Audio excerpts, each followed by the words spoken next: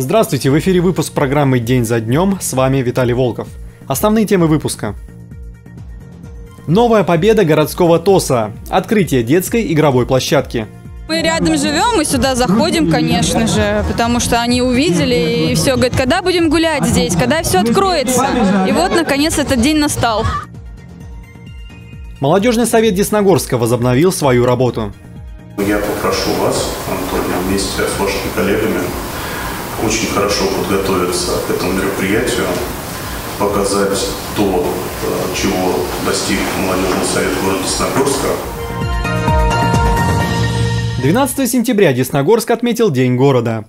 Некоторым горожанам этот день запомнится и другим приятным событием – открытием детской игровой площадки в четвертом микрорайоне. На месте событий побывала съемочная группа нашего телеканала. Одним из центров событий того дня стал общий двор 7 и 8 домов. Местные жители уже не раз проявляли заботу об этом участке, делая его комфортнее и современнее. Их новое достижение – детская спортивно-развивающая игровая площадка. Мы вышли на финишную прямую, вы видите, что уже можно деткам посещать площадки. Э, да, доделаем мы все до конца, как и было задумано. Территориальное общественное самоуправление «Уютный двор» – это инициативные жители четвертого микрорайона. Путь от идеи до воплощения своего проекта им удалось успешно пройти благодаря фонду АТР АЭС. ТОС «Уютный двор» приняла участие в конкурсе, который проводил фонд, а затем и стала победителем. Результат чего теперь радует детей и родителей близлежащих домов. Мы рядом живем, мы сюда заходим, конечно же, потому что они увидели и все, говорят, когда будем гулять здесь, когда все откроется. И вот, наконец, этот день настал. ТОС «Уютный двор» и дальше планирует принимать участие в проводимых конкурсах фонда. Задачи на следующий год уже определены. Оснащение двора дополнительным освещением, видеонаблюдением и пешеходными дорожками. Но есть и близлежащие планы, о которых сообщил местный житель, глава Десногорска Андрей Шубин. В октябре этого года я думаю, что мы совместно с управляющей компанией «Настоящий здесь произведем озеленение. Посадим кустарники, деревья, для того, чтобы название «Уютный двор» соответствовало э, тому названию, которое мы назвали наш корабль. Олег Соловьев, Юлия Соболева, Григорий Шилин, Владислав Полоскин, Десна ТВ. 8 сентября в администрации состоялось заседание Молодежного совета Десногорска – Впервые после долгого перерыва неравнодушные представители городской молодежи обсудили предстоящие планы и вынесли на рассмотрение Совета свои новые инициативы. В заседании принял участие куратор молодежного совета, заместитель главы Десногорска Александр Новиков.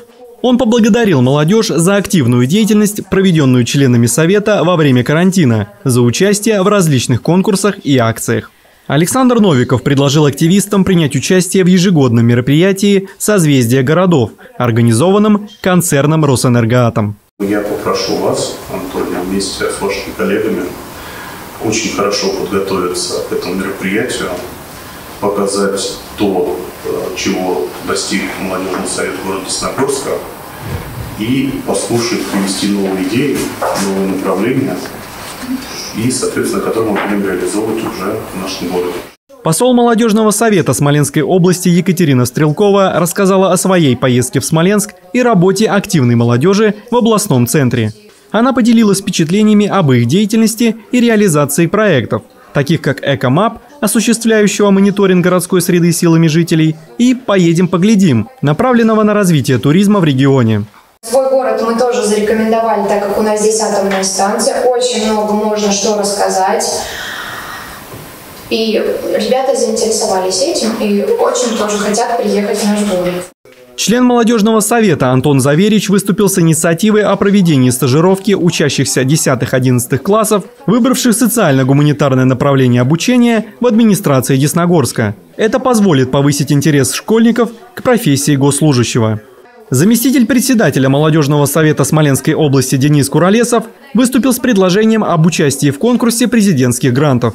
Мое предложение, что да, мы можем, конечно, собираться, там проводить субботники, разовые акции, но чтобы действительно заявить о себе э, и на местном, и даже на уровне, грубо говоря, региона, то нам все равно нужно выходить с каким-то проектом, с каким-то предложением, получать на него финансирование и реализовывать. Была озвучена инициатива проекта «Интерактивный гид», он направлен на развитие туризма и сохранение исторической памяти в городе. Возле достопримечательностей Десногорска будут размещаться QR-коды, которые позволят с помощью мобильного телефона узнать подробную историю памятников. В заключении члены Совета обсудили идеи проектов по благоустройству районов города. Виталий Волков, Юлия Соболева, Владислав Полоскин, Десна ТВ. А теперь коротко о погоде. 17 сентября в Десногорске ожидается дождь. Днем плюс 18, ночью плюс 8. На этом выпуск завершен. Больше интересного на нашем сайте desna.tv.ru, а также в наших официальных группах в социальных сетях. ВКонтакте, Одноклассниках, Фейсбуке и Инстаграм. С вами был Виталий Волков. Увидимся.